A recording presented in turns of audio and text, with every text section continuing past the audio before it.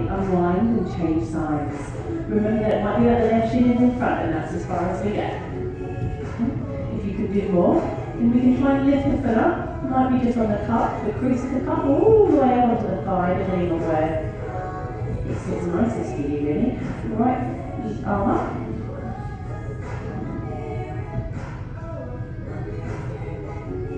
Stay back to where you are. Take an inhale.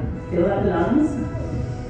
And as you exhale, go a little bit more. Now, try this. Can you just turn your ribs a little bit to the right side of the room? Yes. Does that give you more room to play with in that side bend? Do not lift weight off the right sitting bone though. Remember, we're still finding that balance in the pelvis. Alrighty, unwind. The left leg kicks behind you. A variation of swan pose, stay here. If we can, the heel naturally pings back to the groin, that's normal. Let's roll that left hip round and down to find full swan pose if that's where your body wants to be today. But remember, the right foot stays flexed to help support that front knee joint.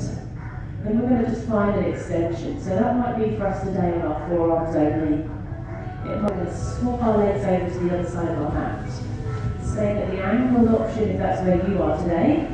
If you want more, roll that right hip up and down. Flex the left foot, support the external movement of the knee joint. Rest the top of the foot and come down to where it feels best for you.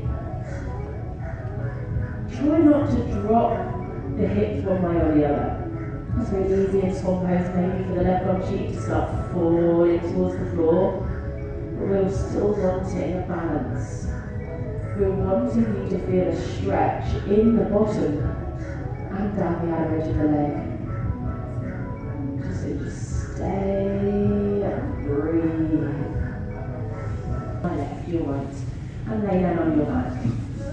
Now let's remember there are lots of options for us to take in our abdominal track. It's a short track.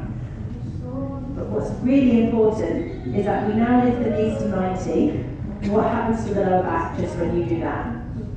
So press the back of the pelvis and the lower back into the floor. Bend the front leg. You can always work the legs without the arms. And that can be challenging in its own right. Very Pilates orientated.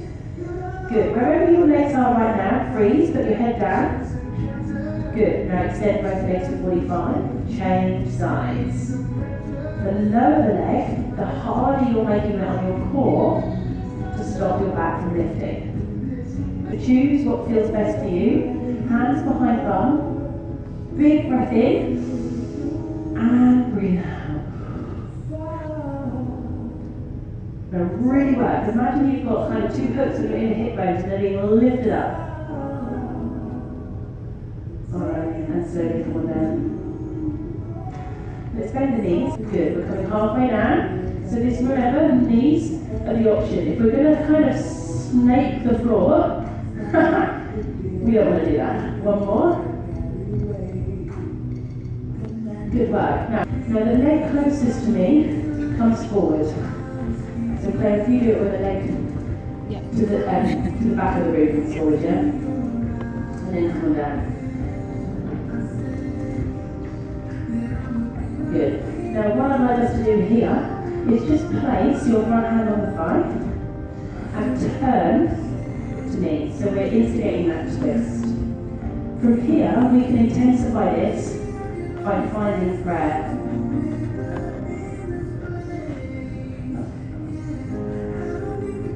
Now what we have to be aware of is that that bottom elbow doesn't push the knee to the back of the room. And lift the knee if you want to enhance the twist. And then wrap this top arm, so us all together, wrap the top arm around the back. And then pull that shoulder as far back as what you can manage. Alright. So let's do a 180 spin.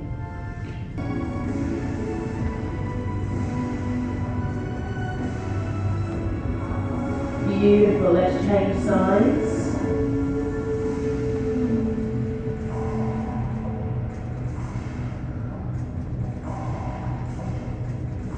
Can you turn your toes out and work your way down to a Hindi squat? Nice slowly. Now go as low as you can without your heels lifted. So if your heels start to lift, then you stop.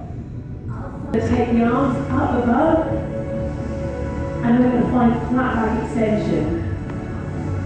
Now, there are two ways of doing this, and in this particular release, we were focusing on not pushing the bum back. Yeah? So make sure that the pelvis stays in line with the legs as much as you can, and then move from there, which you know is really hard to do. Wide leg fold, come to the floor, look through, look behind you, and then slowly roll up through your spine.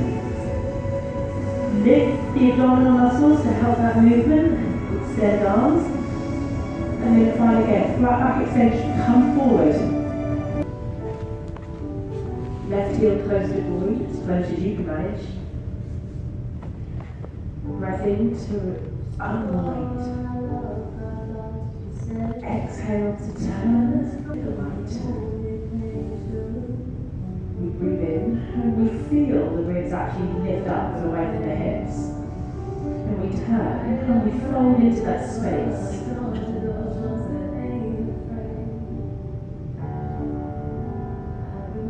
Then let your body go.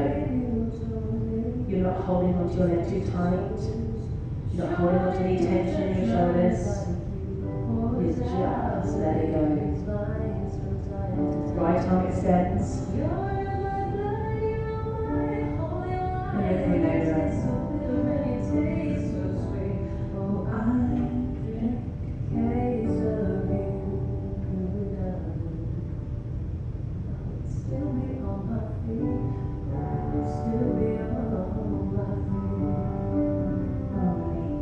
So let's finish in happy baby pose. Uh-huh. So let's come on down.